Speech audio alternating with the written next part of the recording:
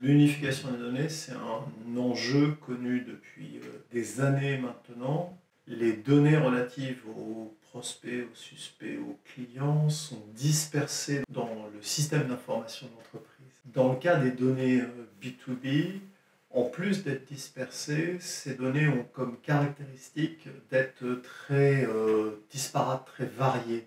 Un client, c'est à la fois un compte, groupe, des entreprises, des établissements.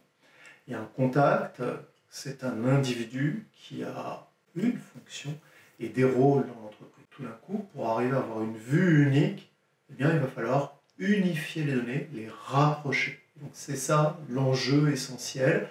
Et le bénéfice, ça va être évidemment plus d'efficacité sous des formes absolument diverses pour l'entreprise.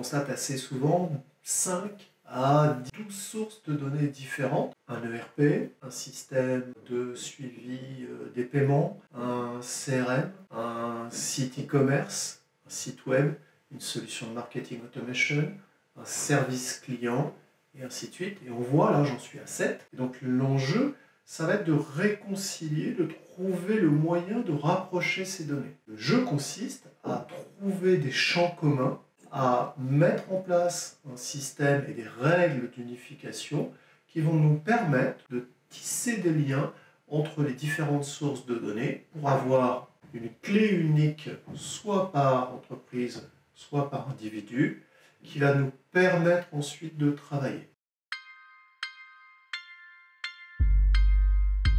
La donnée originelle, elle est originelle. Et ensuite, l'endroit où on va la stocker après l'avoir unifiée dépend complètement des options d'organisation informatique qu'on va prendre. Il n'y a pas de réponse standard, il y a une réponse par entreprise en fonction de, de l'architecture du système d'info client, de la façon dont les données sont organisées, de la façon dont les rôles aussi humains, pas seulement informatiques, sont distribués dans l'entreprise.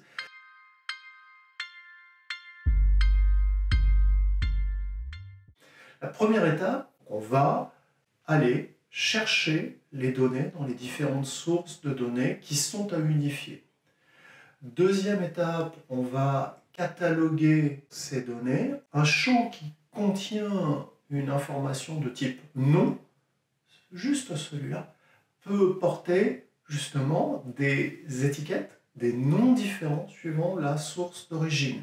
Donc on catalogue les données pour pouvoir ensuite les rapprocher. Troisième étape, euh, travail de nettoyage, normalisation. Et puis on arrive ensuite, on rentre dans le dur, là ça y est, euh, attendu qu'on a défini nos règles d'unification, ben, à ce moment-là on va pouvoir commencer à faire les rapprochements, les unifications des données et, et les passes qui vont prioriser certaines sources de données sur d'autres, qui vont, une fois qu'on obtient un résultat positif, redistribuer ou non l'info. Une fois qu'on a un résultat tangent décidé d'un arbitrage humain sur la donnée unifiée ou pas. Euh, et enfin, euh, parfois, assez souvent, on va enrichir les données natives, les données de l'entreprise, par des données externes pour sécuriser euh, l'unification et aussi redistribuer l'info de meilleure qualité.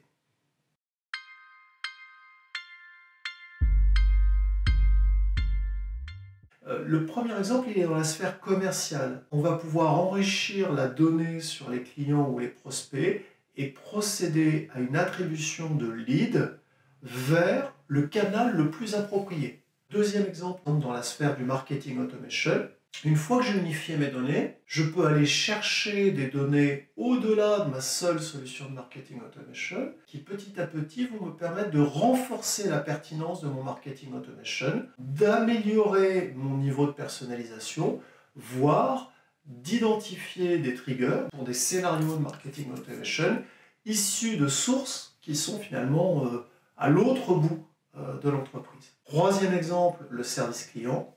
Les personnes qui sont au service client, lorsqu'elles sont en relation avec des clients, elles butent parfois sur une faiblesse de l'info à leur disposition à l'écran. Grâce à l'unification, je vais pouvoir une nouvelle fois remonter de l'info, aller chercher de l'info de consolidation de chiffre d'affaires, de dernière commande, de statut d'expédition, etc., qui se trouvent une nouvelle fois à différents endroits du système d'info client. Quatrième application, la connaissance client. Et grâce à l'unification, je peux sur une entreprise, sur un compte, euh, regrouper mon historique de relations, fabriquer des agrégats qui me permettent de voir euh, de manière consolidée sur les périodes de référence, sur l'intégralité de la durée de relation, le chiffre d'affaires, la marge, euh, les comptes actifs, etc.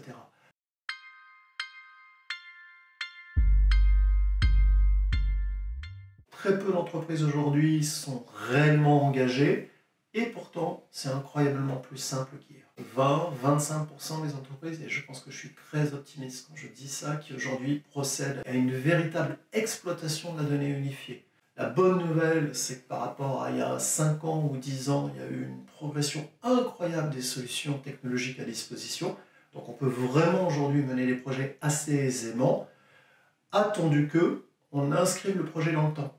Le projet unification, ce n'est pas le projet d'un instant, ça se déploie progressivement. On monte sa clé unique et petit à petit, on, on active des scénarios dans lesquels on va exploiter la donnée unifiée, petit à petit faire la preuve de l'intérêt de cette démarche.